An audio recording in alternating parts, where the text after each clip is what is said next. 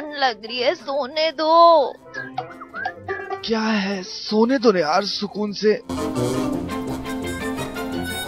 मुझे भी तो ठंड लग रही है। क्या यार सोने नहीं दोगी? दो छोड़ो। वो क्या कर रहे हो? नींद का सत्यानाश हो गया। सपनों की ऐसी की तैसी हो गई।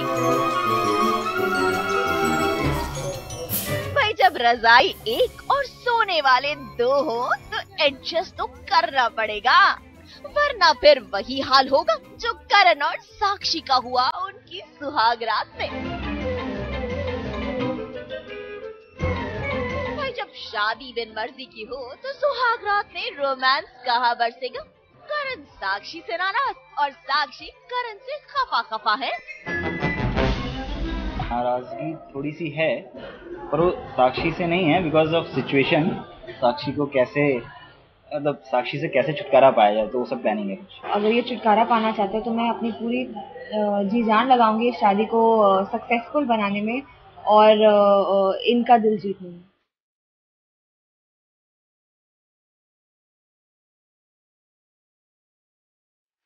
वैसे आपको बता दे, साक्षी और करण की सुहाग रात की शुरुआत लंबे फासलों के साथ हुई थी। साक्षी ने जहाँ बेड पर कब्जा जमाया था, वहीं करण बाबू दूर बहुत दूर सोफे पर पड़े थे।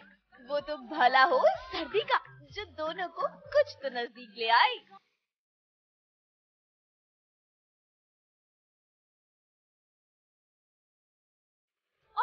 और भी तो इतने पास आए कि दोनों की हँसी छूट पड़ी।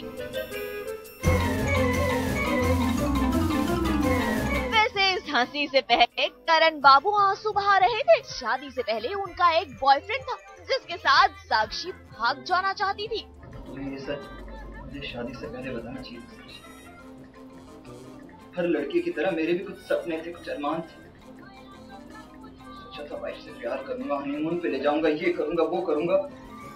तुम्हें मेरी ज़िंदगी के साथ खेलने का हक किसने दिया? किसने दिया? मैं बस अपना अतीत इनके साथ इनके सामने खोल देती हूँ। मैं बोल देती हूँ कि मेरा एक बॉयफ्रेंड था जिसके साथ मैं भागने वाली थी। तो ये आई डोंट थिंक इनको इतना इफ़ेक्ट हुआ जितना ये ओवर एक्टिंग कर रहे हैं। बेसिकली अभी फ़िलहाल मैं ड्रामा कर रहा हूँ कि ये मुझे जैसे सच्चाई बताती हैं तो मैं इनको वापस आके बोलता हूँ कि पहले मैं कोशिश करता हूँ कि मॉम को सच्चाई बताऊँ और मॉम मेरा फेवर करें और किसी तरह शादी ब्रेक हो जाए। बट वहाँ पर बाजी पलट जाती है क्योंकि मॉम को पहले से पता है कि इसका बॉयफ्रेंड था ब्ला ब्ला ब्ला अब मैं क्या ड्रामा करने वाला हूँ, वो देखने लायक हो तो आप देखिए।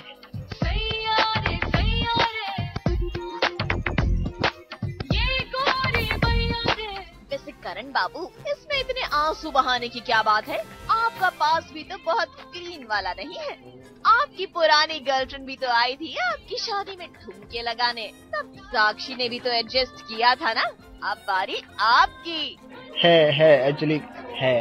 बट वो बहुत ही कॉफ़ी में टी कॉफ़ी में कुछ करके है इंटरेस्टिंग सा है। मेरे पास बहुत इंटरेस्टिंग है। और देखने में मज़ा आएगा। और वो मैंने बुलाया था मैं इनको जलाने के लिए। बट ये कुछ उल्टा ही हो गया सब गेम और ये वहाँ पर भी आगे निकल गई, उससे जीत गई। टेलीविज़न के इस नए शो में हो चुकी है मियाँ बीवी के इस अनोखे रिश्ते की शुरुआत। हालाँकि शुरुआत में तो काफ़ी फासले लेकिन कैसे मिटेंगे ये फासले और कैसे मिलेगी मियाँ बीवी के इस रिश्ते को एक नई पहचान? यही है शो के आगे की कहानी।